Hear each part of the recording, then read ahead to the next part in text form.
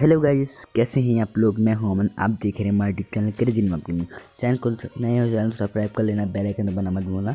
आज हम लोग बात कर रहे हैं इंडियन कार टाइम थ्री की अपडेट के बारे में। यहाँ पे देख सकते हैं, यहाँ पे कार शोरूम का बैनर भी लग चुका है। अंदर जाके दिखा देते हैं आपको।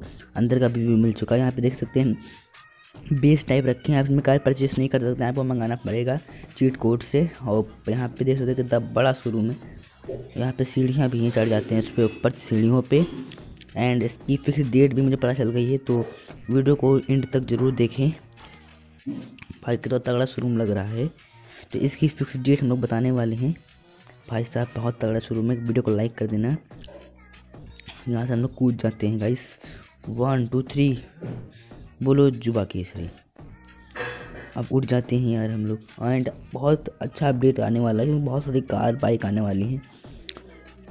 चलो, अंदर चलते हैं उस वाले शोरूम में। इसकी फिक्स डेट होने वाली ग्यारह नवंबर। हाँ दोस्तों एलेवन नवंबर को आने वाला है गेम तो आज के लिए इतना ही, मिलते हैं नेक्स्ट वीडियो में। बाय बाय दोस्तों।